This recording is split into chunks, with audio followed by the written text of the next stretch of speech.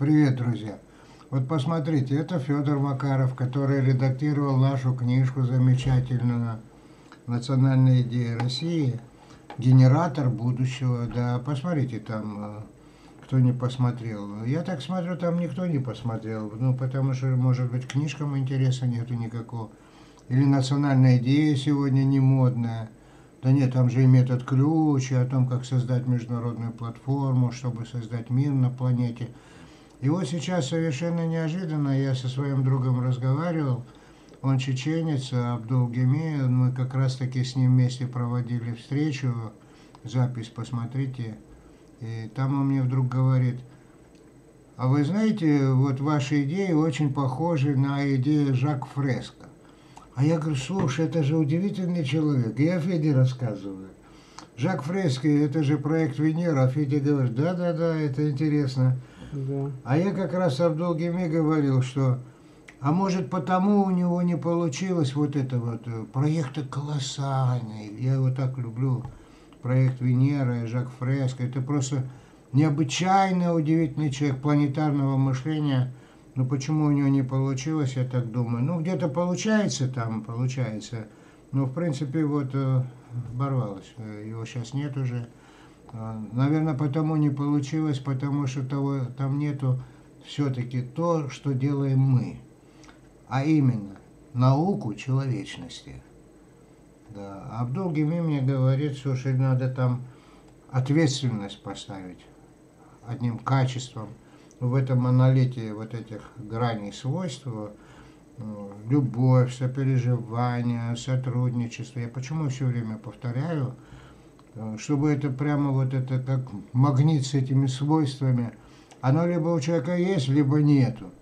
И все эти качества, все эти свойства, параметры, признаки, а Абдул-Геми мне говорит ответственность, потому что первый человек, говорит, был ответственен за все, потому что он разумный.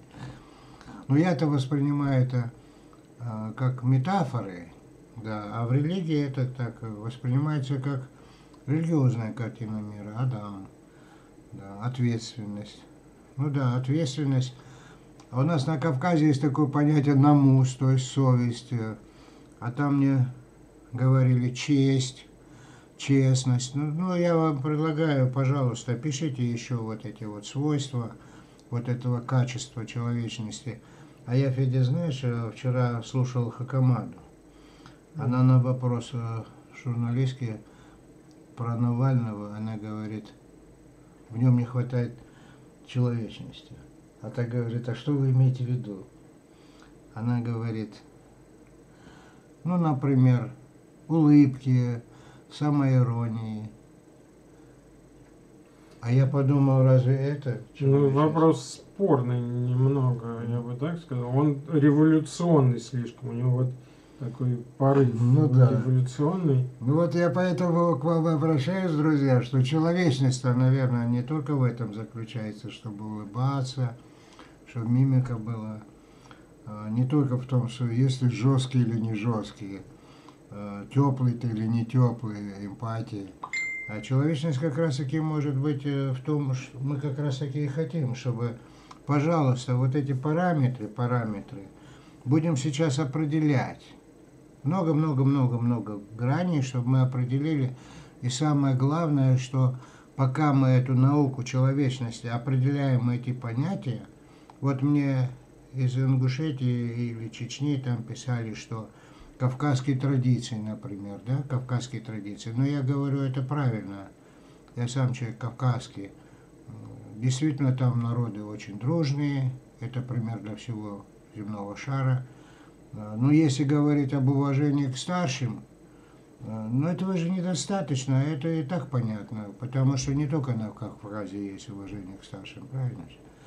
Вот поэтому нам нужно определять вот эти вот э, все понятия человечности. И вот э, Жак Фреско, Фреско, проект Венера. Вы посмотрите, кто не видел. Потрясающий человек вселенского масштаба, да, а вот я вам хочу сказать, что как раз-таки тот кирпич, которого у него не хватало.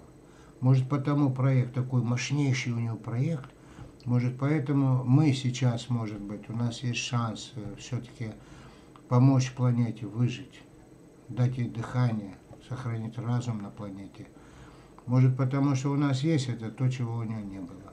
Наука человечности и метод ключа к этой науке человечности. Во. Я с вами согласен. Может быть, как раз у него слишком все как бы затехнологизировано, Он слишком все да. это глобально, слишком вот такой инженерный подход. Вот все эти города, безотходное производство, солнечные батареи, технологии, технологии, технологии.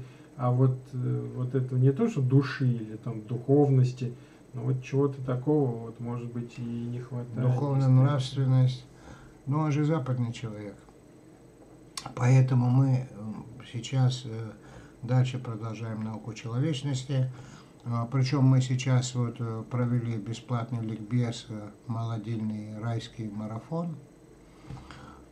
Я показывал много-много разных вариантов, чтобы каждый из нас мог подобрать, перебирая эти варианты, развивая одновременно поисковую активность мозга, способность работать с неопределенностью – а, это развивает эти качества. И в то же время, находя какой-то прием, я видел вчера, что наконец человек, у которого ничего не получалось, она говорит, несколько лет я там пыталась по вашим роликам делать, ничего не получалось. И вдруг оказалось, что просто надо было знать о факторе времени. То есть человек начал делать упражнение какое-то, и она или он ждали немедленного результата. И каждую секунду проверяют, получается, не получается. Да, надо было подождать немножко, подождать немножко, полторы-две минуты дали, и вдруг у нее бах, и получилось соответствие. Она вышла на это состояние. Ну, посмотрите, вчерашний ликбез.